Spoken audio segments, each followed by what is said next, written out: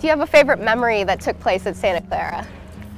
Well, uh, two of my favorite spots, mm-hmm. both of which are gone, unfortunately, were Club 66, that mm-hmm. was in the basement of, uh, of McLaughlin, mm-hmm. and Pipe Stage, that was in yeah. the basement of Graham. And they were both, uh, you know, bars uh, or social areas where if you were of age, and at that time perhaps even if you weren't, you could go down and we, I mentioned I was uh, sophomore class president, and the classes could throw parties in. Mm-hmm. Wow. And uh, we did some sort of a country themed party with hay. It was the biggest mess ever, but in any event, it was lots of fun. Sounds very go Broncos. Yes. So, other than the Jesuit tradition, what else makes Santa Clara so unique? I think, as I think about what makes Santa Clara unique, it's really our centers of distinction, mm-hmm.